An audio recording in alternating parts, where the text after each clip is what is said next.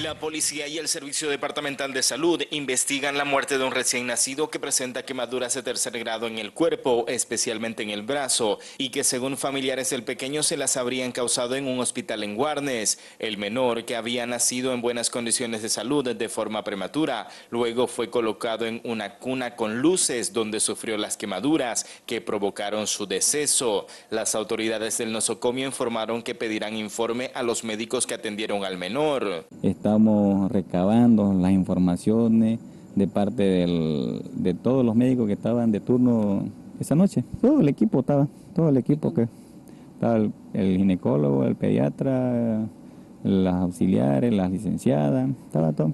Tenemos las incubadoras, que como no tenemos especialistas neonatólogos, entonces las incubadoras casi no las ocupamos y no, nunca hemos tenido este caso, digamos, aquí en nuestro hospital.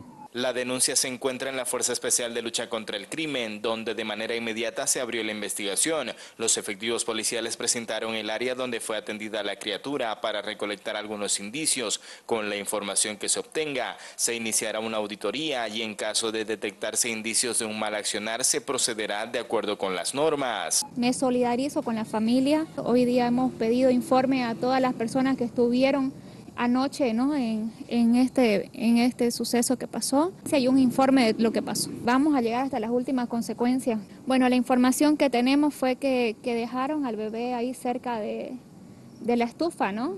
Incubadora tenemos, funciona, veremos por qué fue que la doctora no puso al bebé en la incubadora y lo dejó ahí. Que le vamos a pedir a la, a la doctora que la atendió